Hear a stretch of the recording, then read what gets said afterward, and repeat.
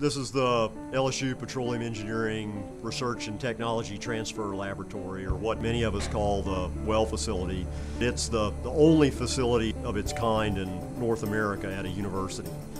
We're the only school in the United States that, that offers and requires hands-on training in well control and in understanding hydrostatics and pressure control in wells.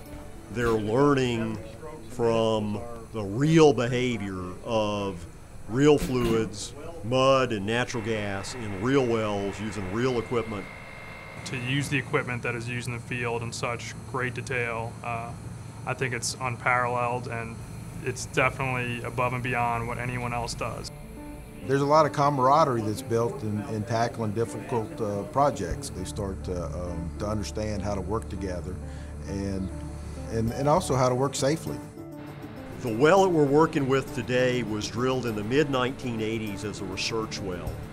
Configuration of LSU well number one to represent a subsea well in 3,000 feet of water is the only place in the world that that's been done. And so the experience that was gained and the testing and the results of the testing from using that well configuration are still uniquely valuable today.